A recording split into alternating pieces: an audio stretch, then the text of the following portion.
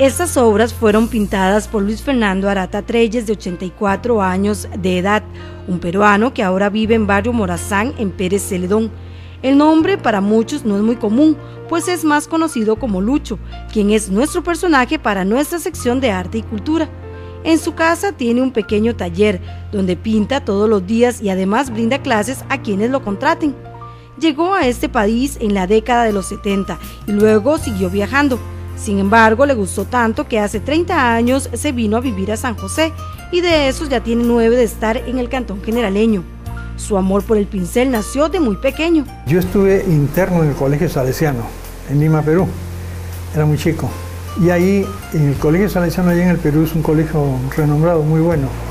Y ahí comencé con los curas a hacer trabajos manuales, eh, calar con madera, a calar madera.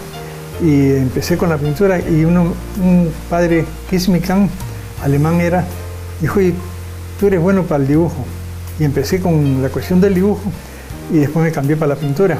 En un momento dado pensó en dejar la pintura, pero luego esa idea cambió. Pero en la pintura hay veces que yo, como por ejemplo una vez en Colombia, dije, no, esto lo boté, boom, boté todo el material, todo, en vez de regalarlo, lo boté. Dije, no me meto más en pintura.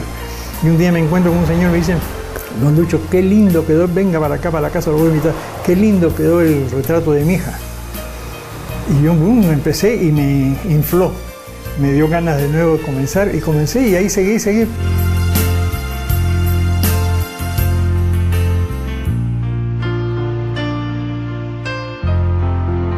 Yo trabajo en óleo, en, ahora hoy en día estoy trabajando en acrílico. Todos esos trabajos son en acrílico. Seca más rápido, es mejor. Y el óleo también, cuando trabajo el óleo, compro secante de cobalto, que mucha gente no conoce el secante de cobalto porque es tóxico. Entonces hay que trabajar en un ambiente libre, ¿no? Y, y como se llama, seca rápido el óleo. Porque si no, se demora en secar y la gente dice que pero es muy lindo trabajar en óleo porque con óleo puede hacer muchas cosas especiales. Lo que con el acrílico no, el acrílico hay que trabajarlo más rápido.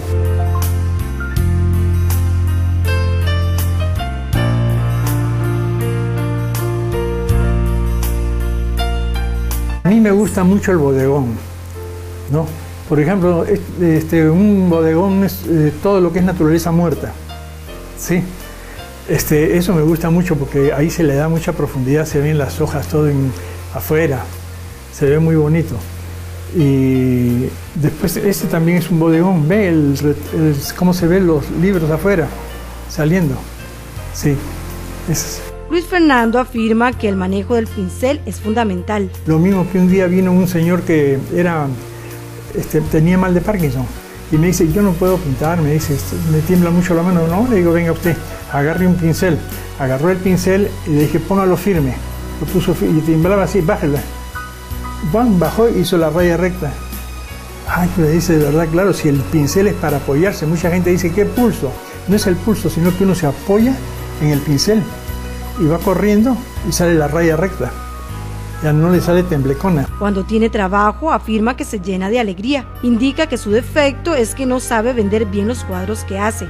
Su trabajo incluye tanto la pintura como los recuadros que piden, es decir, da el producto terminado. Vivo una vida normal, alegre, sí, cuando, cuando me viene trabajo, sí, yo ahí estoy feliz, ahí estoy muy feliz, cuando tengo trabajo, que sé que voy a ganar, ahí sí me, voy, me pongo muy contento. Y también cuando me tocan este, alumnos o alumnas que tienen problemas y que vienen acá y los olvidan. Esa señora que le digo que tiene un hijo autista, ella me dijo, don Lucho, me olvidé de mi familia de todo primera vez.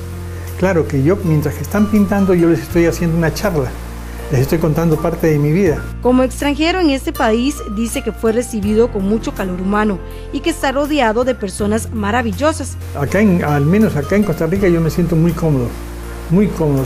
Mire que no tengo familia sanguínea, no por parte de sangre, pero sí, pongamos, tengo a don Luis, a, a doña Disney, tengo a una señora que es muy generosa conmigo, Ana Fernández. Ufa, esa señora es muy cariñosa y parece que Dios la mandara, porque el día que yo necesito algo, ella llega con lo que yo necesito. Yo le digo que eso es un ángel. Claro, porque ¿cómo supo ella que yo necesitaba tal cosa? Si usted quiere contactar a este pintor, puede llamarlo al número telefónico 8397-4273. Don Lucho se mantiene trabajando y afirma que seguirá pintando hasta que Dios así lo quiera.